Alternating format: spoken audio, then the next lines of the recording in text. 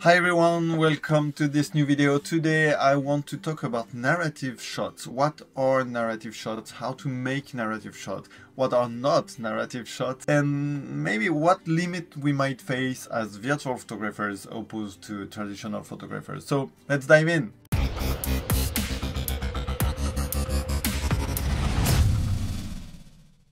The idea of this video came up after I posted a set of shots from Bulwark Falconeer Chronicles on Twitter. So it's an indie game published by Wired Productions and it's just a one guy made game. And the, the developer actually commented this.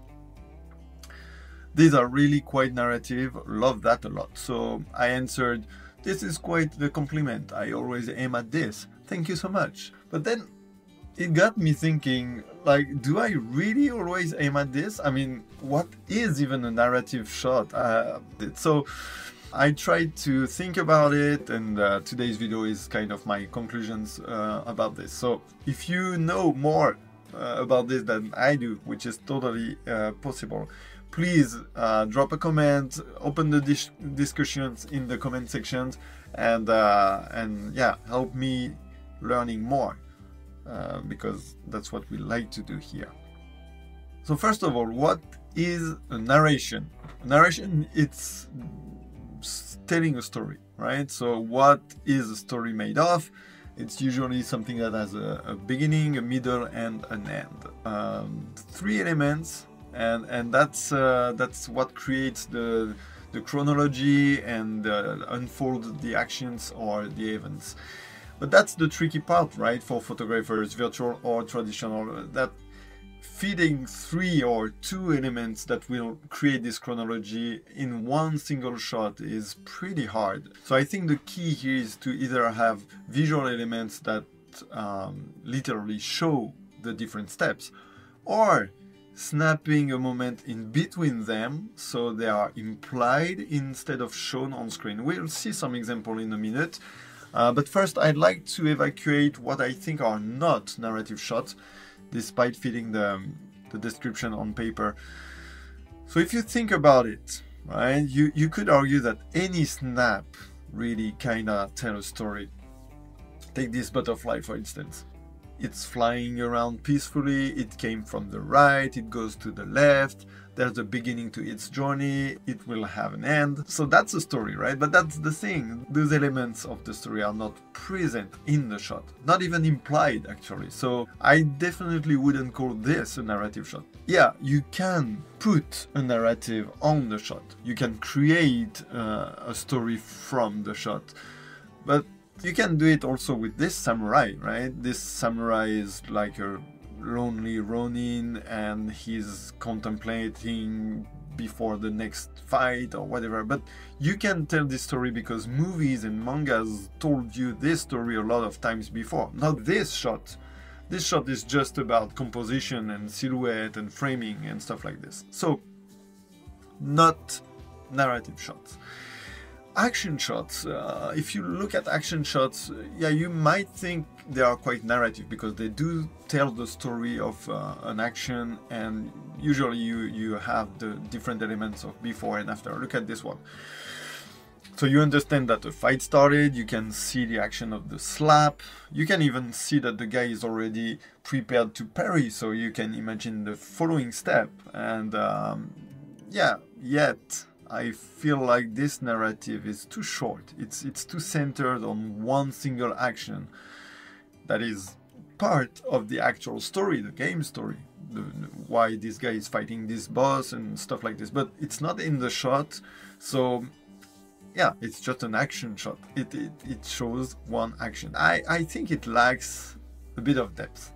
Uh, in the in the, the story. So how to make one? How to make a narrative shot with depth in the story and stuff like this you can you can reach this depth with emotions for instance um, but it's it's kind of tricky look at this iconic shot it's it's a traditional shot not a, don't don't stop to comment uh, wow graphics so it's it's a shot called migrant mother it's by dorothea lange and it does convey the story just by the look of the woman, right? Um, the relationship with the kids that you can imagine, and of course the title of the shot helps create a, a story. But it's it's pretty rare to be able to get such a shot in virtual photography, right? I I mean you can, but you will probably have to play a very specific story that you will be able to use to create your narrative shot. So I did this in Detroit Become Human. So that's actually almost the same story, uh, I'd say. But that's because the game told this story and I, I captured it. You know, so it's not really me creating a narrative shot. It's me using a narrative to make a shot that tells the story. I, think you, you you can feel the difference. So in traditional photography, of course, uh, viewers share the same world as what they watch, uh, what the picture is uh, portraying. So it definitely helps ident- identifying uh, yourself to the situation and it helps creating a story just by this. Look at this other super famous shot from Robert Doisneau. It's called Le Baiser de l'Hôtel de Ville with the English accent that I don't have. Um, yeah, it is definitely a, a, a narrative shot, but why? You could say that there isn't any element implying the beginning or the end of their story, right? I think it's more because how we cre- we can relate to them because we probably have been in love once. This shot is not the story of their kiss; it's the story of every kisses, I, I guess. But that's that's not it. That's not exactly what makes the the great narrative here. Look how the motion blur on the other people around builds the narrative here. So we understand just because of this blur, so we understand that the couple stopped in the middle of the crowd, right? They are fully centered in the frame too. So they are in their own world and it focuses on their love as the story itself.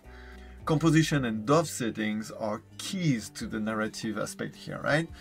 And that's something we can use uh, in VP as well. So back to the set I posted and that started all this uh, analysis. Out of the three shots, uh, two could be seen as narrative to me. So this one and this one.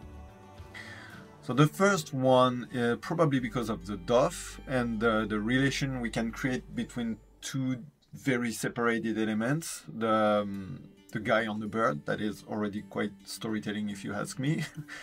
um, and the city that he's leaving or protecting or whatever.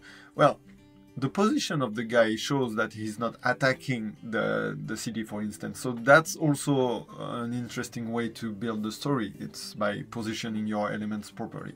So it works. Uh, this relation, the DOF, making it you know uh, the guy is leaving or whatever. But i think it works even better on this shot. So here for once i i actually did it on purpose. I wanted to tell the story of an exodus um, an exploration travel an expedition if you will using the fleet of ships going all in the same direction but above everything uh, using the two stars. My idea was that putting the fleet between them it would kind of illustrate the idea of traveling and of starting point and destination. So obviously they are not traveling from that specific planet to that specific uh, sun. But the notion of leaving a place to reach another one is in the shot, and um, yeah, I think it helps.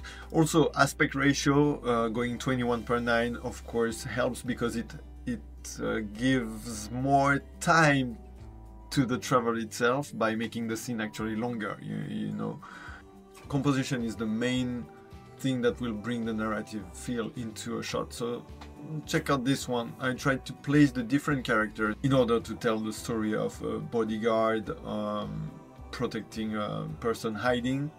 So choosing the right character pose first, then framing it so you should, if it works, you should see first the bright part where the action is happening first, right?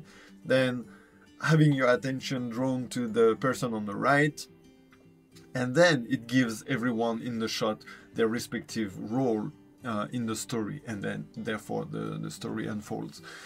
So I think narration through composition can be tricky also and very easy to miss. And I actually have the perfect example for this. Check this out. So here's a shot I probably imagined as narrative when I took it. The character swims between two river banks. We can imagine where he came from, where he goes to, etc. Right? But first mistake, the guy isn't even centered. Second mistake, uh, the sun takes a lot of attention and so are those red trees. It, there's a lot happening. The, the little guy is literally drawn in the shot. So yeah, I guess it, uh, it's a way to tell the story, but that's not the one I wanted to, to tell. Now check this shot I took later with the same idea. Here it works much better.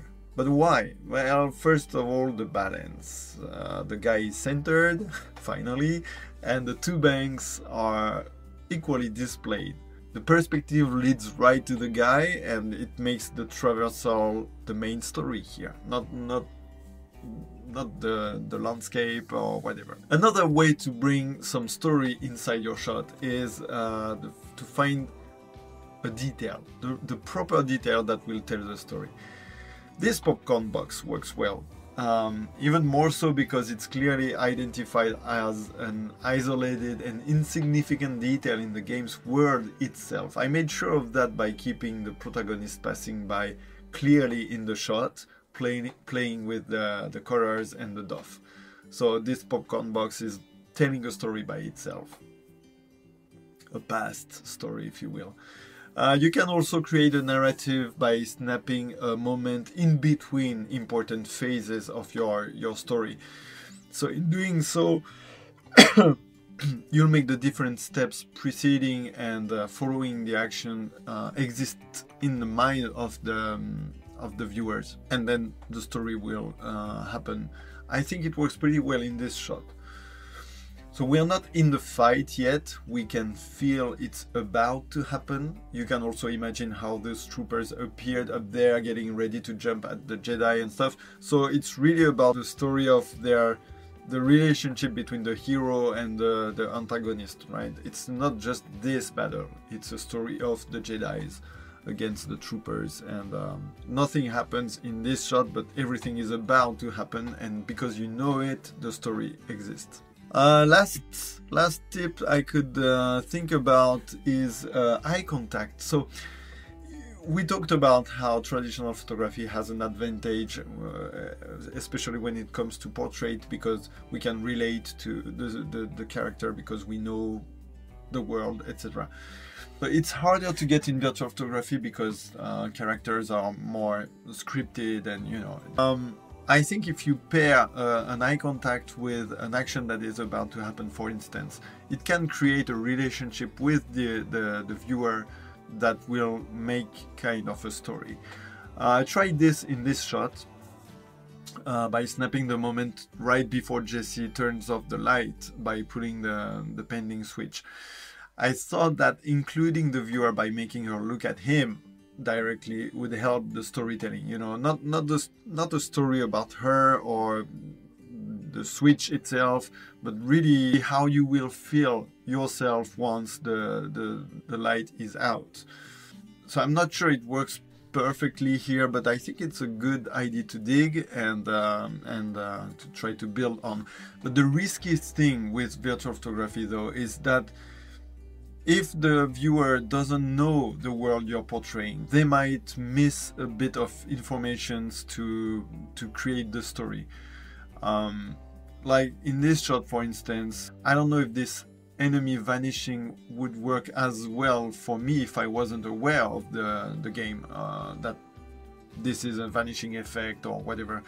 So you really need if you really want to to focus on narrative i think you you have to think about speaking to the most people possible. Um, you have to make a, a, kind of a universal story to to make it storytelling uh, not too specific.